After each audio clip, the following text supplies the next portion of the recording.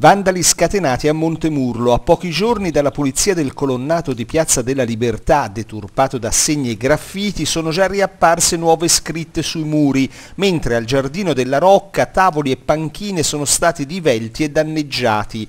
Un quadro avvilente che l'assessore all'ambiente Simone Calamai non esita a deprecare con forza.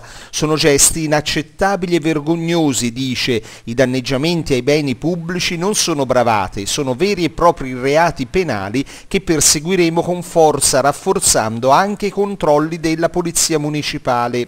Alcuni giorni fa il Comune di Montemurlo aveva provveduto alla pulizia della Piazza della Libertà, scritte, disegni, graffiti realizzati con spray e pennarelli erano stati rimossi dalle pareti posteriori del municipio, dall'entrata della Sala Banti, dal colonnato e dal palco utilizzato per le feste in piazza.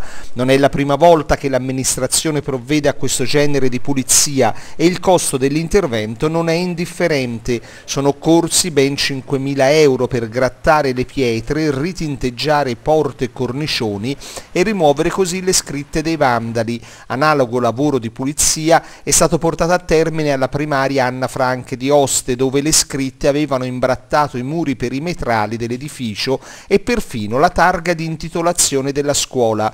Solo pochi giorni fa il comune di Montemurlo aveva sistemato anche il vialetto pedonale che si trova al giardino pubblico di Rocca, dove i vandali si divertivano a divellere i ceppi di legno di cui era fatto ma i nuovi danneggiamenti non si sono fatti attendere, con le conseguenze che sono sotto gli occhi di tutti.